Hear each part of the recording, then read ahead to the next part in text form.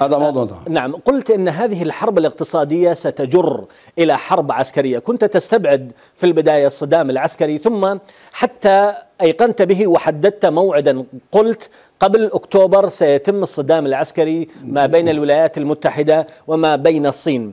ألا ترى في هذا مبالغة نوع الشيء أو حتى كمان. أو حتى مسألة تحديد تواريخ للحرب؟ فيها مبالغة ربما تكون محرجة لاحقا؟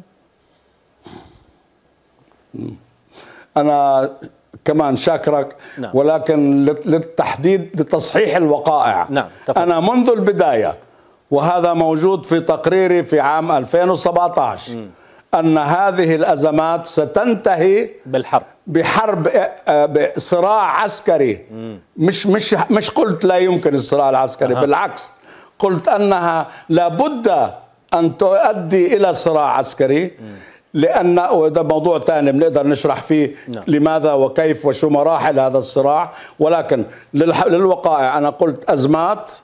ستؤدي إلى صراع عسكري ستؤدي إلى لقاء أو اجتماع على الطاولة ينتج عنه اتفاقيات تؤدي إلى الازدهار من جديد هذا التسلسل الموجود في تقرير المنشور جميل. في كل الدنيا جميل. عربي وإنجليزي ومنشور في أمريكا هلأ كيف وصلت إلى القناعة أنا بدي أذكرك عندما يقول شنيان اللي هو وزير الدفاع الأسبق وزير دفاع أمريكي أمريكا عندها ثلاث أولويات الصين الصين أمريكا الصين.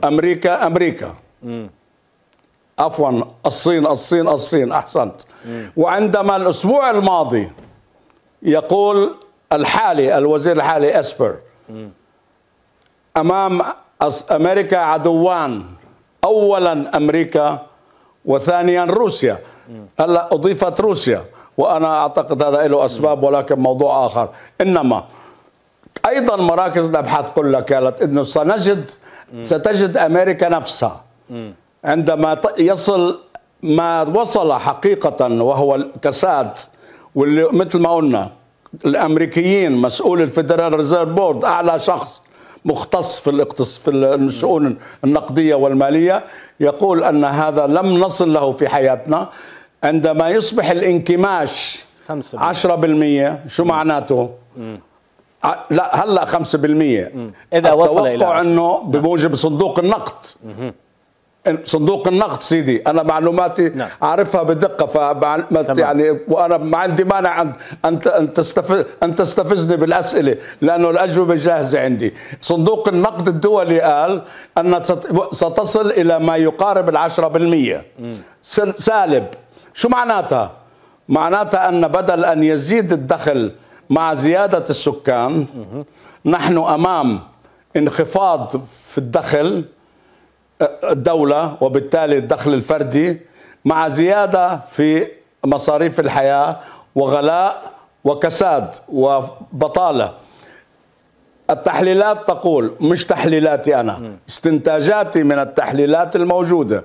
نعم. تقول بأنه عندما يصل الوضع إلى هذا الوضع لا يستطيع الرئيس الأمريكي أن يدخل في انتخابات وعنده هذا الوضع الاقتصادي. أنا مش محتاج خبير.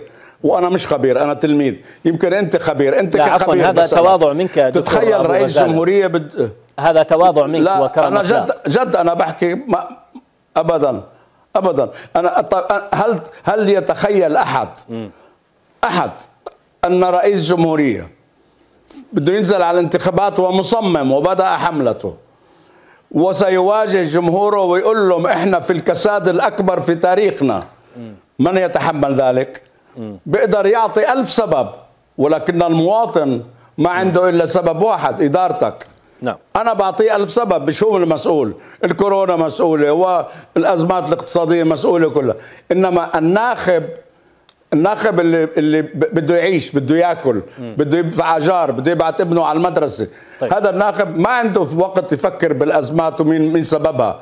أنت رئيس الدولة أنت القائد أنت المسؤول. كيف تقبل أن يصل وضعنا إلى هذا الوضع؟ لا يستطيع. أي رئيس مش ترامب أي رئيس أن يواجه شعبه. ولم تحصل في تاريخ أمريكا أن رئيس انتخب في فترة الاقتصاد فيها منهار. مش بهالشكل ابدا هذا لم يحصل في التاريخ. ولو انهار بسيط معروفه هاي هاي النظرية معروف بأمريكا إنه لا يستطيع رئيس جمهورية أن يعيد انتخابه إذا كانت البورصة منخفضة. إذا البورصة بس منخفضة.